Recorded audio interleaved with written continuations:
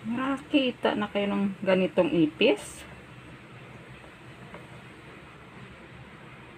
Kakaibang ipis ito.